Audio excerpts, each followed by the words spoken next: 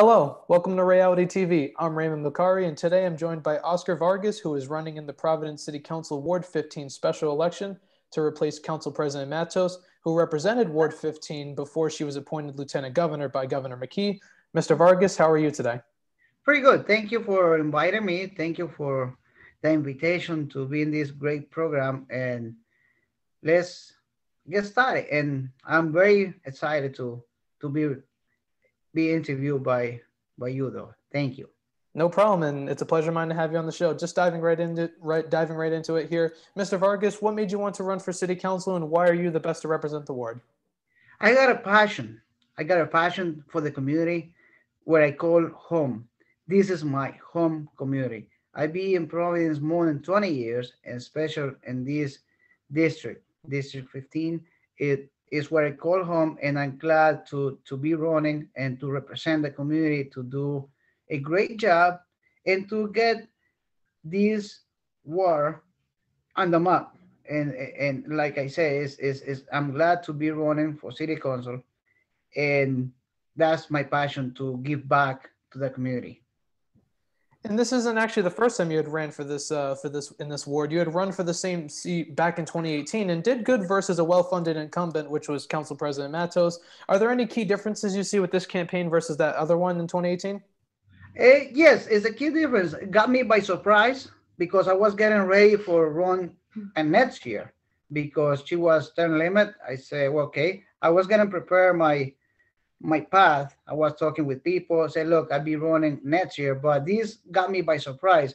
So this is the opportunity for me to jump in the wagon and and and help the people and try to finish what she start because I know she has a lot of projects going on and I'll be glad to finish it because it's it's it's, it's, it's projects that will benefit our community, our District 15. That's why that's a different it's, it's a surprise for me but uh, i'm glad that people is, is supporting me and i ask everybody to support me and and i'll be working for you guys. And there were a lot of different issues to be focused on in 2018 versus now in 2021 what are some of the key issues you plan to focus on in this campaign and what have been some of the things you've heard from the residents here in ward 15 so far i've been hearing a lot. Number one is speeding they they they complain about speeding, speeding, speeding, speeding, and we have a lot of children in our community, so we need to be focused on and the speeding. I be working on the speed bumps, and I be working to clean the sidewalks, to clean the streets, and to pick up the trash, because it's a huge problem we have with trash. Our street need to be swept at least three times a year and we have a bunch of mattresses. In every corner that you see, you see a mattress. So I, I got a great idea that's going to be. I will present it to the to the city council when I, when you people elect me. I will present this plan to have a better view and, and start working on this project.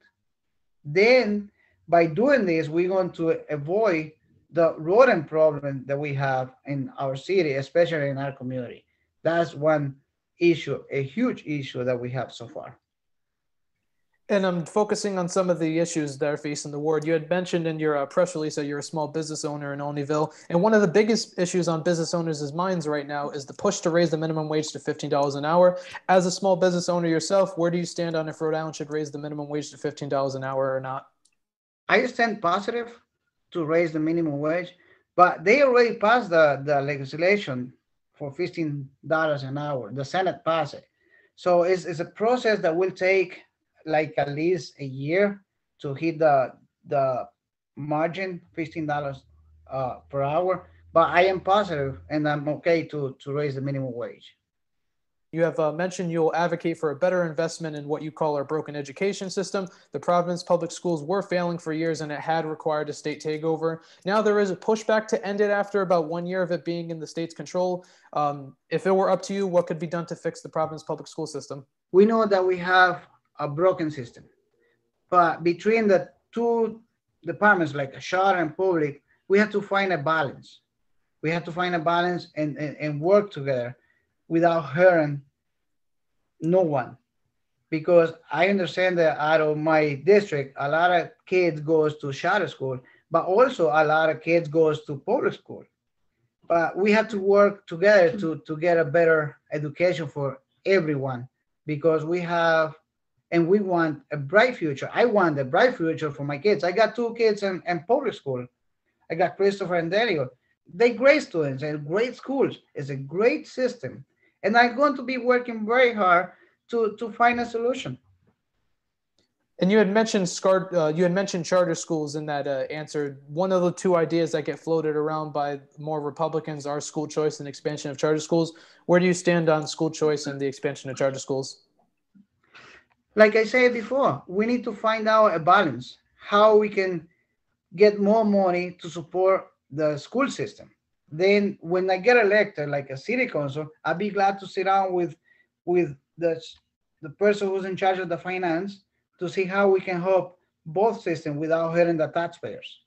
And now moving on to another issue that you briefly had mentioned at the top of the interview, you also highlighted that you want to fix the sidewalks, streets, and uh, blighted properties. How would you be able to get that done in the city council? Every year we get a budget. We get some money to fix up sidewalks and to fix up the street. I'll be asking for more funds to fix up our broken sidewalks and to fix our streets. And that's my number one issue because every single street you walk has a broken sidewalk. And from the last 10 years, they've been fixing sidewalk, but they're, they're not fixed like a long side. They fix one little sidewalk here, another sidewalk there, and then they leave the worst one in the middle. I know the city already sent somebody to, to take measures and, and photographs all the sidewalks on the neighborhood. So they have this in record. When I get elected, I'd be asking for those records and start working as soon as possible to fix up the sidewalks. You're looking to so you're looking to implement uh, money in the budget to fix that problem. That's correct. And um, right uh, as of right now, the city council, how it's going to look with the composition is up in the air. After the 2022 election, it will look differently. It'll look it will look a lot differently. A number of city council members are term limited, and there will definitely be be a new city council president. There might even be um, a vote on the the temporary city council president, possibly by the time you're elected. So, just out of curiosity, if elected, out of the people on the city council right now, who would you be uh, in favor to have as council president, and why? And when my constituents and my friends and my neighborhoods elect me as a city council, I'll be talking with the city council body.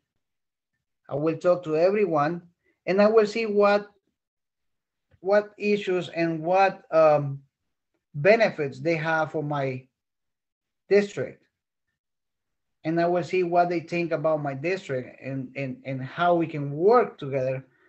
So is where I'm going to make the decision. If I had to make a decision to vote for a, a, a, a city council president, is when I'm going to make the decision. And uh, shifting to the non-political topic, my uh, my final question is one that I ask everyone on the show to keep tradition, and that is, in your opinion, what do you think Rhode Island is best known for? Rhode Island is best known for the waterfronts. That's one. Second is the WaterFire. Third is Federal Hill. Federal Hill is very famous.